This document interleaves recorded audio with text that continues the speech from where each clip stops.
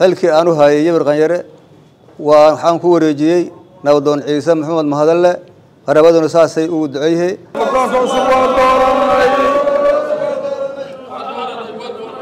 munaasabadan oo ay ku caleema saaranayeen beesha yabar qanyare oo ka mid a beelweynta hilibi murunsade nabadoon ciise maxamed mahadalle ayaa lagu qabtay magaalada muqdisho. Munaasabadda waxaa ka soo qaybgalay salaadiin waxgarad iyo qeybaha kale ee bulshada ee ka soo jeeda beeshani. Intii lagu guda jiray munaasabadda ayaa odayaashii munaasabadda ku sugnaa waxay ka jeediyeen khudbado ku aadan dardaaran iyo taageerid loo muujiyey nabadoonka cusub ee maanta la caleema saaray.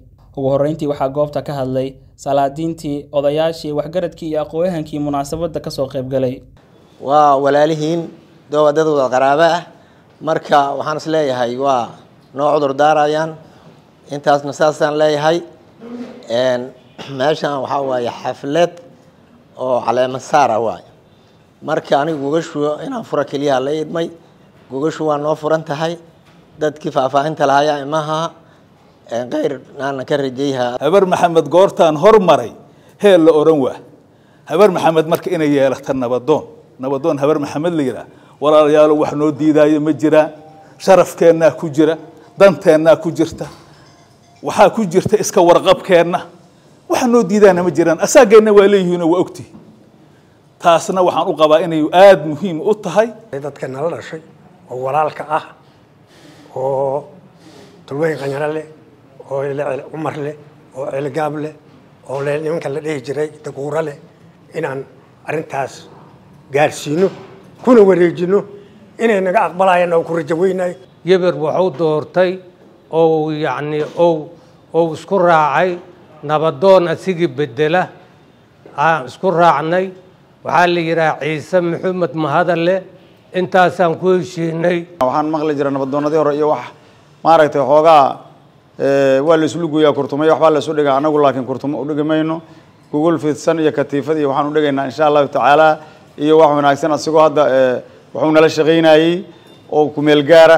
Hadduu inta kumeel gaarnimadii insha allahu tacaala loosoo wada idmo la yidhi u shaqaynaana waa la shaqaynaynaa waana soo dhawaynaynaa wax badan oo waxaad arki doontaa culays aad arki doontaa in badanood saarsanta oo dhabarka kaa xagan aad arki doontaa in aadan mataqaanaa aadan aadan iska ridin. Dadka aad mataqaanaa aad aada hor kacaysid. Wax walba waa ku jiraan cid wanaagsanaa ku jirto cid xunaa ku jirto waxa dhanba inaad garabka saarata lagaa rabaa ood isku haysa insha allahu. Nabadoonnimadu sideedaba waa qoryo isu dhiib. Ilaa iyo intaan jirnay iyo intii naga horreysaba waa soo socotay. Haddana waa sii soconee. Ninba maalinlow xilka qabaha ilaahay waa u fududeeyaan leenahay ciise. Xil culusaa loo dhiibay. Tolka soo doortana waxaa laga rabaa inay kula shaqeeyaan. Qof keligiisa waxba ma qaban karo. Annagoo ah odayaasha dhaqanka ee nabadoonnada habar maxamed waxaan leenahay soo dhowaaw allahna kula garab galo. Waxaan rabaa markaa inaan xoogaa sheego dadka soo doortay ehelka ah oo qaraabada ayagana waxaa laga rabaa in ilaahay dartiis ay ula shaqeeyaan maadaama aayad ilaahay ay ku soo aroortay ee adiicu llaha wa adiicu rasuula wa ulul amri minkum. Ah aayaddaas inaanan la khilaafin ee maaragtay la iska fiiriyo waxa ay dadka ku amraysana ay qaataan waxa ay ka reebaysana ay ka tagaan. Aniga hadda wareegga nabadoonnada kuma jiro laakiin qof kastoo oo xilkasuhu waa nabadoon. Meeshuu arrinta ka soo gaaro inuu ka xaliyo xaqu leeyahay. Wixii marka oo na soo gaarana inaan kula xalino xaqaan u leenahay. Dadkana dhammaantii allaha waafajiyo jidkaas wanaagsan.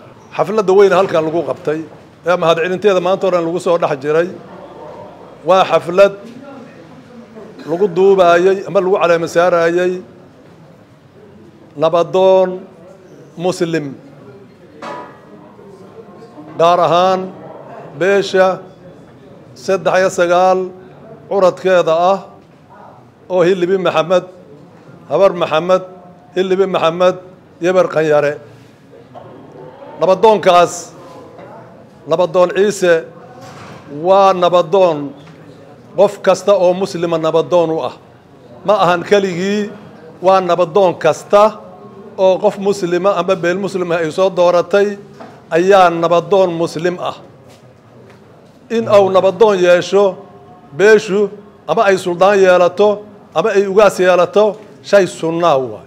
Nabadoon cabdi warsame maxamed oo ah nabadoonkii ka horreeyey nabadoonka maanta la caleemo saaray ayaa xilka ku wareejiyey nabadoonka cusub wuxuuna alle uga baryay inuu u fududeeyo xilkan loo igmaday. Soo dhowaanta iyo kala dhaqaaqa soo dhowaantaa fiican waxay soomaalida ku mahmadaan nin geed u gar u go'daa haddii hadda habar maxamed ay hal oday yeelato. Waa xoog siyaaday dadkuna waxuu isu kaashaha uun dhibka maahane. Nin walba camalkiisu meelo u yaallaa waxau samaystay ilahu la hortagaa laakiin dhibka adduunyo ayaa la iska kaashadaa. Marka habar maxamed waxaan ugu baaqaa dhibka adduunyo. Inay iska kaashato wadajirka inay ku dadaasho khilaafka tirada badan iyo adduunyo jeclada iyo siyaasadda dulmiga dhaqanka inaan loo rarin saasaan kula dardaarmaa saasaana ku soo dhaweyha nabadoonka. Xilkana allaha la qaado. Ugu dambeyntii waxaa munaasabadda ka hadlay nabadoon ciise maxamed mahad alle oo ah nabadoonka maanta la caleemo saaray.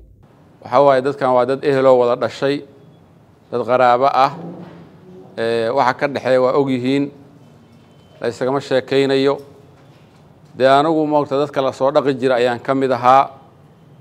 Dadka wax dhaqi jira ayaa jooga ninkuna hadda waaridkiis inuu goshiisa ka hadlaah waa laga habboon yahay.